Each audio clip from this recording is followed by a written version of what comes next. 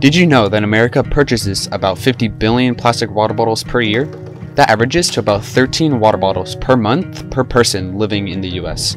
This means that every second, 1500 plastic water bottles are consumed. Thinking about this information, I spent almost two years saving up plastic water bottles to make a project in hopes of helping people realize the severity of plastic pollution. Thus, I'm going to build a sailboat out of plastic water bottles, specifically a trimaran.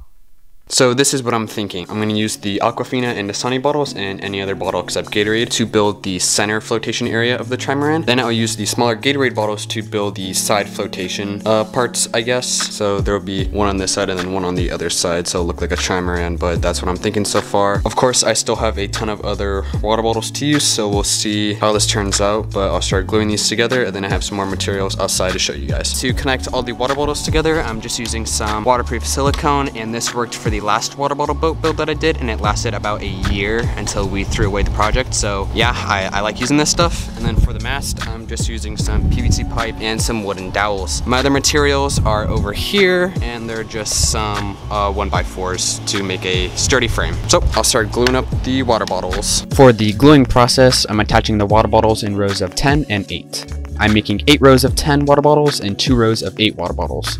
I'm doing this so the boat will have a slight curve at the bow and stern.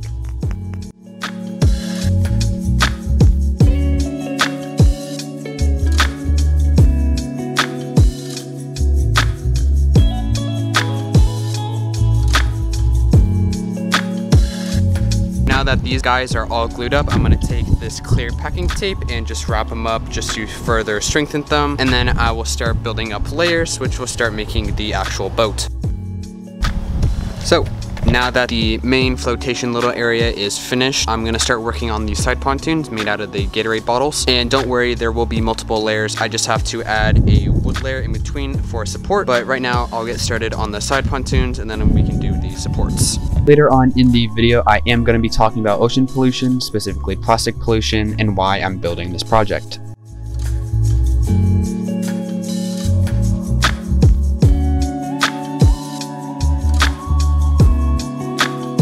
So now that this pontoon is done, I'm gonna use those 1x4s over there to create the wooden supports and then I can place them in, glue them in, tape them in, and then add more water bottles on top and I can continue the building process. And then I'm gonna build the other pontoon and connect everything and then start with the mast and sail build. I'm also gonna be coating the wood with this polyurethane to try to waterproof it. This is not a permanent solution, it's just temporarily and if it starts molding then I'll just replace it all. Anyone who is watching this video and wants to make their own, I would suggest coating the wood in epoxy resin to fully waterproof it. Although epoxy resin is quite expensive, another alternative would be to use PVC pipe. Let me know down in the comments below if I should do a similar build but with PVC piping.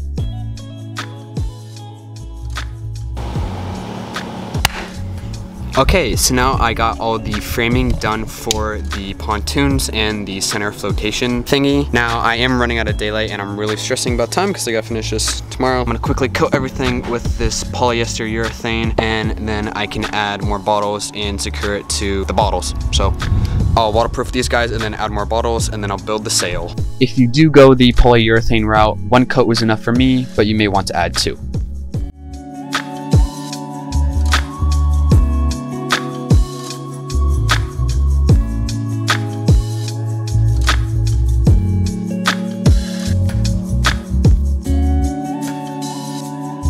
Alright, so now that these guys are fully coated with polyurethane, it's time to start up the sail and the mast. And I'm simply going to use some PVC pipe and dowel and a tarp, which is in the kayak over there. But since I don't have much room over here, I'm to be doing it behind my larger boat over there. So let's get started. Here's the plan for the mast. I'm just going to be using PVC pipe for the mast and boom. For the mast, I'm going to shove down some 3 fourths inch uh, wooden dowels into the PVC pipe just to strengthen it a little bit more. And when that's all constructed, I'm gonna use duct tape to make some hinges for the sail and for the boom attachment onto the mast or like the gooseneck, whatever you wanna call that piece. And then yeah, that the mast should be done. Shouldn't take that long and then we can get back to attaching those guys to the water bottles. I also decided to add some waterproof silicone into the PVC pipe just to secure the wooden dowels.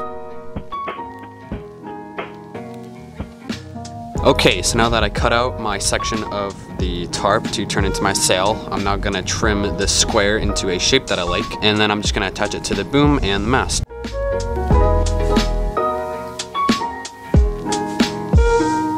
So here is the shape that my sail is gonna be, and I know it looks really ugly, and it, yeah, it just doesn't look good in general. Now that the sail is done, I'm gonna use some duct tape and create some hinges so I can connect the sail to the boom and the mast. And then I'm gonna duct tape this piece of wood up here just to give the sail a little bit more support so this end isn't flopping all over.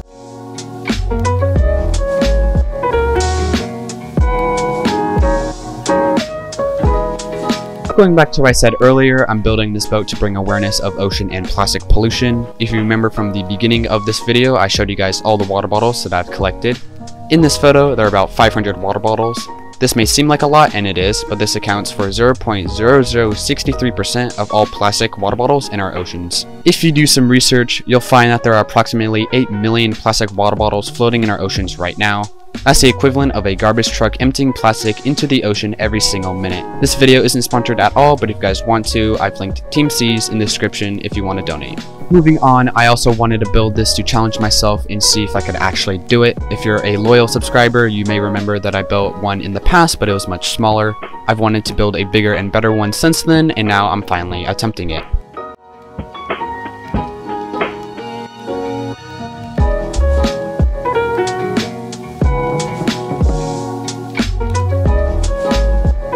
So to finish off the water bottle section of the boat, I'm just gonna heavily wrap them in some heavy duty packing tape. Now, if you're like me and you're building this project or you're doing something similar, uh, packing tape worked pretty well for me in the past and it was able to hold up for about a year on my old water bottle boat. But if you really want this to last for a long time, I would suggest using duct tape. Editing this footage, I really wish that I would have added a lot more tape.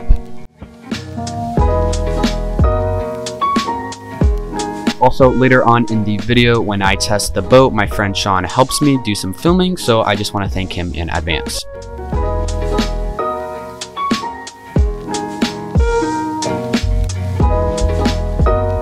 Alright, so she fits pretty well, but you can definitely tell that she's bending to the back and the boom isn't secured at all. But in the morning, when I have a little bit more time, I'm gonna add some rope to straighten her out and just to further secure her. Now, to finish off the build, I'm just gonna figure out the wooden supports that go across here that connect the pontoons to the main flotation area, and I'll quickly make the rudder. For the wooden supports, I just connected them to everything else simply with some bolts and nuts. This way, it was much easier for me to disassemble and transport the boat. So here is the rudder. It's pretty simple. I'm just using some household hinges to allow it to turn. Now I'm just gonna attach this to the boat and then I can drill some holes in the boom and at the top of the mast to finish her off and then we can go test her. Alright, so we got the water bottle kayak in the car and I also got my kayak on the roof and we're gonna go test her out. So let's go. All right, so we got the water bottle kayak down here as well as the other kayak and some fishing gear. Now we're just gonna take her down to the dock and we're gonna float test her and see how she does.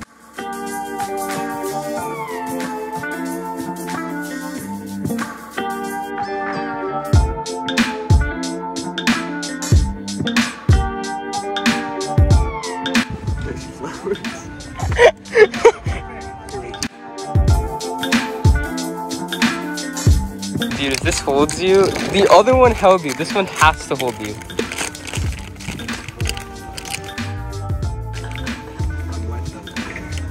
It does the job.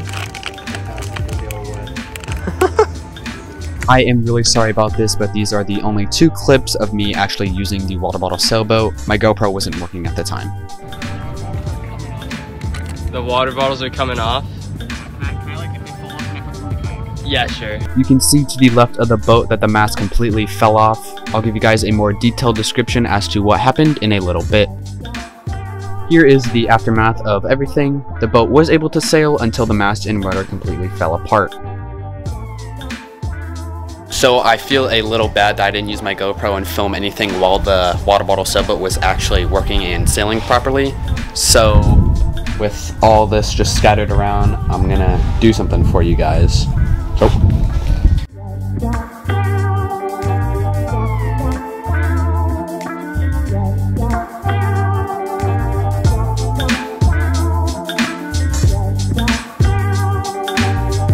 So I'm heading back down to the marina and I'm gonna show you guys where Sean and I launched the boat and what happened.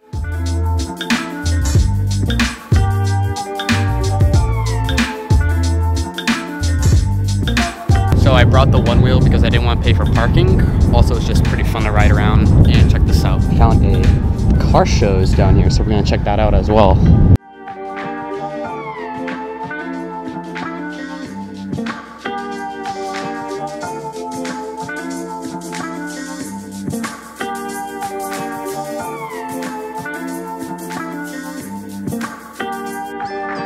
Alright, so that was pretty cool, but let's head down to that little dock where we launched the boat.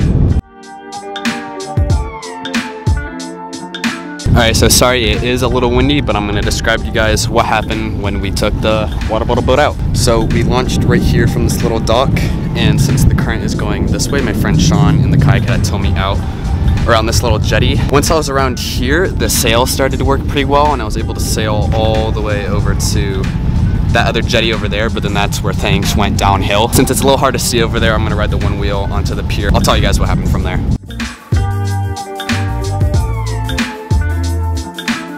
Alright, so after I got around this jetty right here, this is where I really got screwed and the current started taking me towards the pier. And at this point, the mast and the rudder broke off, so my friend Sean had to tow me in the kayak, but there was so much drag we weren't going anywhere and we were both just drifting towards the pier. So Sean ended up bailing and swimming to the pier, and I had to tow the kayak, which took me like half an hour all the way back to the main dock. So that's what happened. So it was a fun learning experience, and I now know what I have to do in the future if I ever do another project like this, which I'm hoping to. So with that said, I am a little sad to say that I recycled half of the boat just because it was unusable and falling apart. I was able to save the outer pontoons, which were made out of the Gatorade bottles. So I will try to build another boat in the future with these bottles. But now I hope you guys know the serious problem of ocean pollution and plastic pollution. So with that, thank you guys so much for watching and I hope you enjoyed the video. See you later.